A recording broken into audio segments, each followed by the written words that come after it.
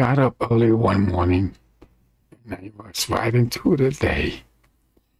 I had so much to accomplish that I didn't have time to play.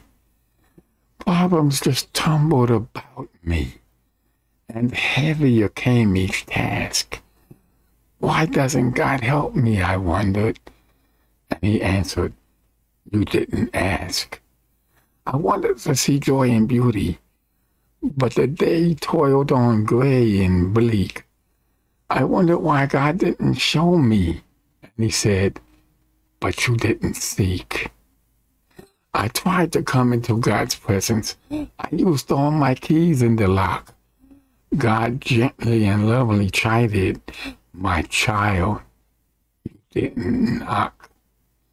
I woke up early this morning and I paused before entering the day. I had so much to accomplish that I just had to take time to pray. Amen, amen. Can I get an amen?